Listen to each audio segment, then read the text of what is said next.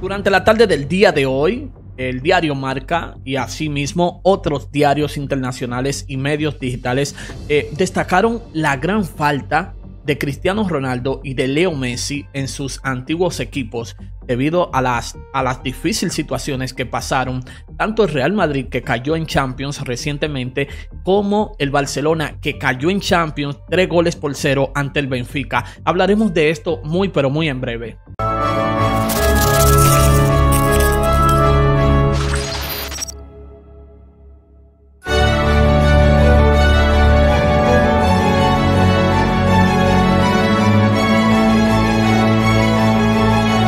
Y así como lo oyes, así como lo escuchas, chicos, este, analizaremos esto, al igual que lo han hecho muchos medios en la tarde del día de hoy, y es que eh, Cristiano Ronaldo y Leo Messi pesan mucho en sus antiguos equipos, principalmente eh, cuando se habla de Champions League, cuando se habla de una de las, de las competiciones más grandes en el mundo, como lo es la UEFA Champions League. Comenzaremos eh, primero por Cristiano Ronaldo.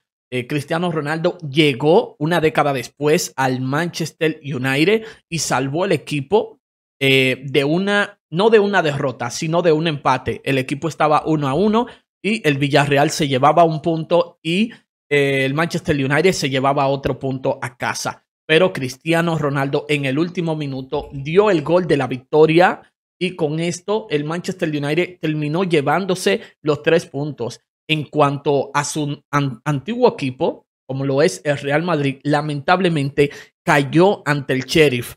Eh, básicamente lo que dicen los medios es que si hubiese estado Cristiano Ronaldo, tal vez hubiese sido una buena victoria, hubiese cambiado la mecánica del equipo, tal vez eh, ese gol de Cristiano Ronaldo le hizo falta al Real Madrid, porque si Cristiano Ronaldo hubiese marcado estando en el Real Madrid, el Real Madrid no hubiese caído en Champions y más bien se hubiese llevado un punto a casa, al igual que el Sheriff. Pero lamentablemente el Real Madrid no pudo marcar más goles y el Sheriff al final del partido se llevó la victoria, madre mía, y se llevó los tres puntos. Por igual hablemos de Leo Messi. Es lo mismo que dice por aquí de Leo Messi. Vamos a leer, eh, vamos a leer esto. Eh, básicamente aquí arriba eh, dice lo que yo le dije a ustedes eh, en breve resumen sobre Cristiano. Vamos a leer esto sobre Leo Messi. Por su parte, el tanto de Leo Messi selló la victoria del Paris Saint Germain contra el Manchester City.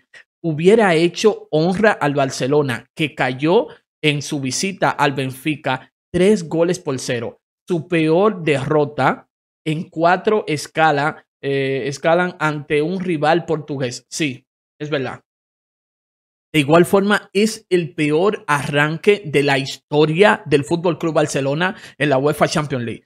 Yo estuve hablando esto. De hecho, de hecho, por aquí dice eh, una anotación de Messi con el Fútbol Club Barcelona, o sea, con el club azulgrana, hubiera mejorado la situación general del club en la UEFA Champions League, ya que no han conseguido ni un solo tiro a puerta en 180 minutos de juego de esta edición de Champions es lamentable lo que está pasando actualmente en el Fútbol Club Barcelona. De hecho, en la mañana del día de hoy estaba hablando, estaba haciendo un breve podcast sobre esta situación. Y es que eh, no han podido despedir a Kuman porque hay que pagarle 12 millones de euros si, si quieren rescindir de, su, de sus servicios, si quieren sacarlo del club, hay que pagar 12 millones de euros. Y la situación económica del club no está tan bien eh, como, para, como para pagarle a, a y prefieren dejarlo que siga, eh, que siga a cargo como entrenador del club. Madre mía, difícil situación y es evidente, es evidente. Yo leí toda la información y leí en otros medios